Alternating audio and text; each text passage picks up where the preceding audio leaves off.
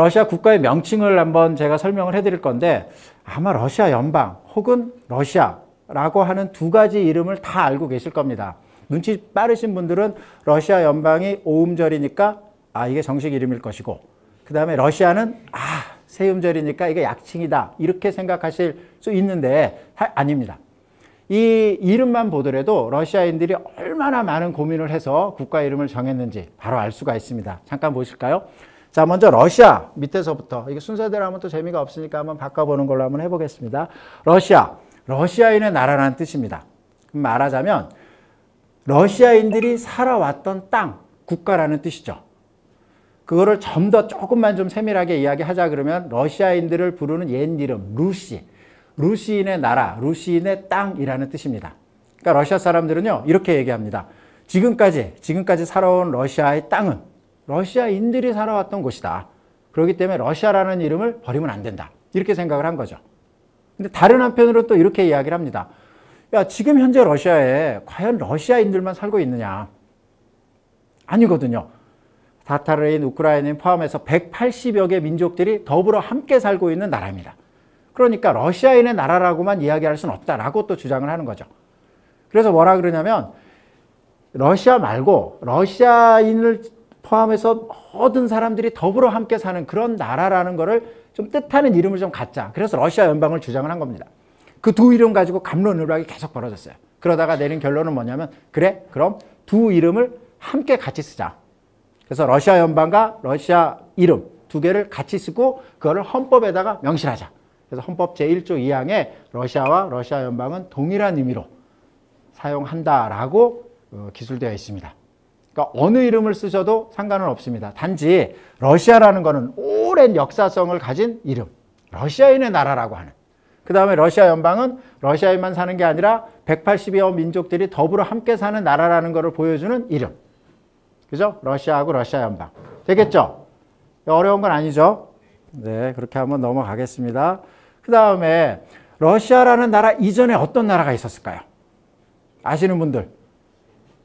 눈치 빠르신 분들은 바로 이제 정답이 있으니까 이제 보시고 이제 답을 말하시면 되는데, 에, 소비에트 사회주의 공화국 연방이라고 하는 나라가 있었습니다. 줄여서 소연방, 더 줄여서 소련이라고 하는 나라였죠. 제가 옛날에 배울 때는 소련이라고 발음하면 안 됐어요. 소련, 소련, 소련 이렇게 얘기해야 됐습니다. 왜? 부정적인 의미를 강조하기 위해서. 이 소련이라는 나라는 러시아 혁명을 통해서 탄생을 했습니다. 약 74년간, 74년간 어, 소련이라는 나라에서 유지가 됐었죠. 그리고 소련이 해체가 된 다음에 러시아, 지금 러시아 연방이 탄생이 된 겁니다. 그래서 소련이라는 나라 들어보셨죠? 여기 지금 보시면은 어, 소련 시기에 공부하신 분들도 간혹 이렇게 좀 어, 보입니다. 물론 이제 대체적으로 봤을 때는 제가 볼 때 평균 연령이 한 40대 이하 정도로 이렇게 보이고 대부분 한 20대, 30대 정도로 보이고 그러는데 그렇지만 하여튼 이 이름은 아마 좀 들어보셨을 것 같아요. 그죠? 그럼 러시아 혁명 이전에는 어떤 나라였을까요?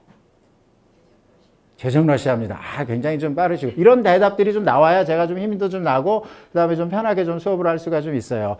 러시아, 그 재정 러시아라고 하는 어, 나라였습니다. 이거는 뭐냐면 황제가 통치하는, 그러니까 왕이 아니고 공우도 아니고 황제가 통치하는 나라라는 겁니다. 이 황제가 통치하는 나라는요, 1721년, 18세기 초반에 그 만들어졌어요. 만들어졌다는 건 뭐냐면 러시아의 지도자 공식 직함이 황제 칭호를 갖게 됐다는 겁니다. 그래서 황제가 통치하는 러시아, 그래서 제정 러시아라고 하죠. 이 제정 러시아가 약 200년간 지속이 됐습니다. 러시아 최초의 황제는 여러분들이 아시는 피터 대제, 표트르 대제라는 사람이죠. 나중에 기회가 되면 제가 한번 설명을 좀 해드리고요. 그럼 그 이전에는 모스크바 공국, 편하게 이제 설명을 하자면 그냥 모스크바 러시아라고 어, 할 수가 있습니다. 이 모스크바 러시아는요, 어, 모스크바를 중심으로 해갖고 나라가 건설됐다는 걸 의미를 합니다. 1480년 15세기 후반에 몽골의 지배로부터 벗어나가지고 러시아가 하나의 강력한 중앙집권 국가가 형성이 된 거죠. 그로부터 모스크바 러시아, 모스크바 공국이 아, 시작이 된 겁니다. 그 이전에는요. 역시 몽골의 지배. 이제 자꾸 이제 이런 질문하니까 좀 답 보고 말씀하시기 좀 민망하시죠? 어, 그러니까 이제 좀 답이 다 보여져 있으니까. 그죠? 어, 아시다시피 러시아는 몽골의 지배를 한 240년 받았습니다.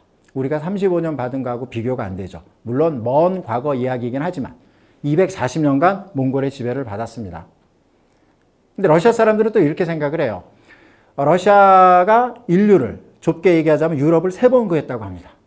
그때 그 세 번은 뭐냐면요. 몽골의 지배로부터 또 몽골의 침략으로부터 유럽을 세상을 구했다고 해요. 자기네들이 지배를 당함으로 인해서 유럽이 살았다는 거죠. 두 번째, 나폴레옹. 나폴레옹이 러시아를 침략한 사건은 알고 계시죠? 네. 19세기 초반에 있었던 일인데, 1812년에 일인데, 그때 유럽을 완전히 장악한 나폴레옹이 러시아에 들어가서 실패했어요. 러시아에 무시무시한 장군이 있었죠.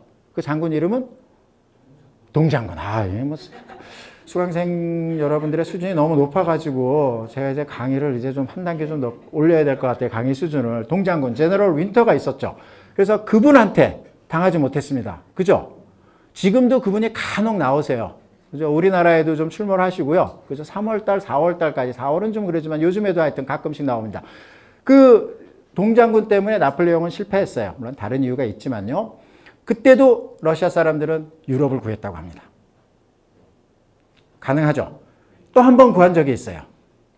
자기네들이 이야기하는 나치. 그러니까 독일이 1939년 9월 달에 2차 세계대전이 시작이 된 다음에 41년 6월 달에 이제 소련을, 당시 소련이자 소련을 공격을 했습니다. 그때 러시아의 많은 땅이 독일 수중에 떨어지죠. 하지만 그 전투에서 전쟁에서 소련이라는 나라가 독일을 막아줬기 때문에 2차 세계대전에서 승리했다. 이렇게 생각을 하는 거예요. 그래서 러시아 사람들은요, 이렇게 지배를 받았다 하더라도 자신들의 순환과 단절의 역사를 어떤 뭐냐면 승리의 또는 어떤 그 구원의 역사로 승화를 시키는 것이죠. 그렇게 해서, 어, 몽골 지배를 통해서 아니면 그 나머지 그 사건들을 통해 가지고 세 번의 역사, 세계를 구했다. 좋게 얘기하면 유럽을 구했다라고 얘기합니다. 몽골 이전에는 이 이야기도 한번 들어보셨을 거예요.